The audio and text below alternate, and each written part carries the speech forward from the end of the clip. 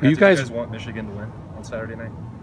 Um, you know, it- no, but not really. You, know, you, you don't really want to ever root for those guys. What was the reaction when that happened? Because because of everything in terms of the Big Ten landscape.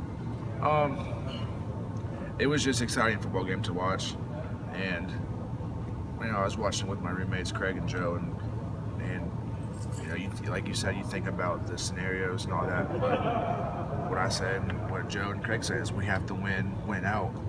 You know, first win, win Michigan State, and then win the rest of our games if we even want to, you know, dabble with the playoff and the, the championship. So we have to win Saturday before we can even talk about any of that. So, So them even- winning, so them winning, even if it hurts you in this different scenarios, or them losing, I'm sorry, even if, if it hurts you in scenarios uh, in terms of getting the Big Ten championship, you're okay with that because it's Michigan losing.